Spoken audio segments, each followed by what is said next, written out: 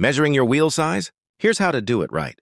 For diameter, measure from bead seat to bead seat. That's where the tire actually sits.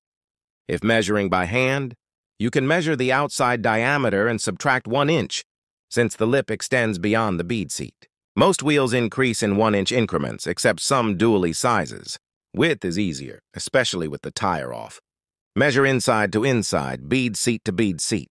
Outside to outside will be about one inch more than the actual width. Widths usually come in 0.5 inch increments, though a few duallys use 0.25 inch. And for quick ID, most alloy wheels have their size stamped on the back. Steel wheels? Sometimes you'll have to look a little harder.